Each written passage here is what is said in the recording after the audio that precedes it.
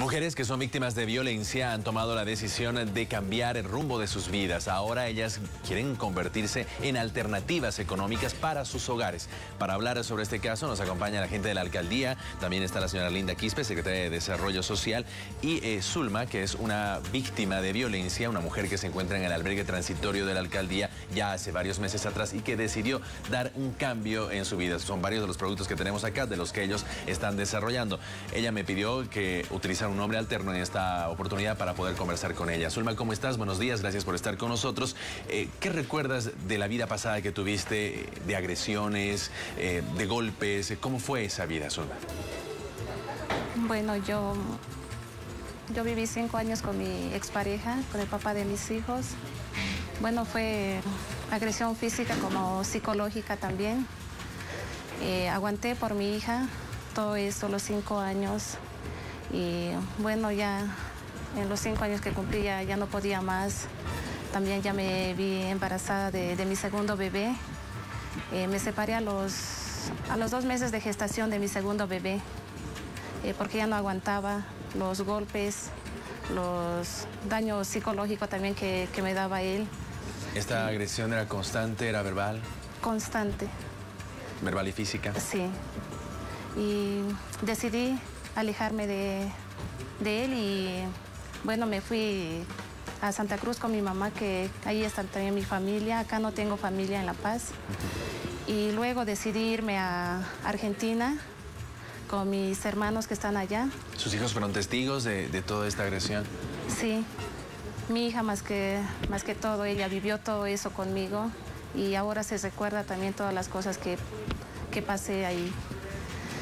Y bueno, yo me fui a Argentina por mejorar económicamente y regresé por mi hija porque la había dejado con la abuela de, su papá, su mamá.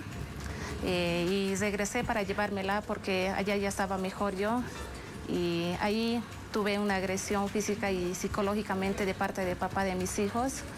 Y como no tenía familia, yo fui a poner una denuncia y me llevaron al albergue porque acá no tengo familia. ¿Y hubo alguna, algún resultado de estas denuncias eh, que usted ha realizado? Eh, ¿Su expareja se encuentra detenido o algo? Eh, bueno, sí, ahora ya tengo garantías de que él no, no se puede acercar a mí. Y con eso ya me siento más tranquila yo y también mis hijos. ¿Y en qué momento decidió romper toda esta, esta cadena de agresiones para transformar en lo que ahora es? Bueno, en ese momento que cuando llegué de Argentina, llegué a la casa a recoger a mi niña, ahí cuando ya, ya dije ya basta de, tanto abuso físico y psicológicamente que, aguanté por muchos años y dije, bueno, yo le voy a poner la denuncia y no aguanto más. Y fui y bueno... Ahora está en el albergue transitorio. ¿Y a qué se dedica ahora? Bueno, ahí nos ayudan bastante, hacemos muchas cosas aprendí a hacer los push ahora que estamos haciendo. Eh, aprendimos a hacer eh, eh, trabajos en goma eva, rosas, tarjetas, muchas cosas en goma eva.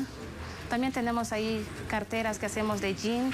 Que son todos los productos que ustedes elaboran, junto a las otras mujeres que se encuentran Sí, bastantes mujeres que creamos todo esto. Muy bien. La señora Linda Quispe está con nosotros, decíamos que es la Secretaria de Desarrollo Social. Gracias por estar con nosotros. Eh, esta muestra, este trabajo es eh, el trabajo de un año que tuvieron en el albergue transitorio, ¿verdad, señora? ¿Cómo se ha desarrollado esto? Bueno, el albergue se inauguró en noviembre del año pasado y han pasado más de 100, 100 mujeres por el albergue, juntamente a sus niños. Todas han llegado por casos de violencia física, sobre todo problemas muy complicados y graves, casos muy graves, que no solamente se reciben el acompañamiento de nuestros servicios legales integrales, sino hay un equipo interdisciplinario dentro del albergue que los recibe, se hace una contención física, se hace un proceso de eh, de denuncia, una revisión médica también de las personas que llegan, una valoración social del estado de situación de la familia, de ella, de sus hijos.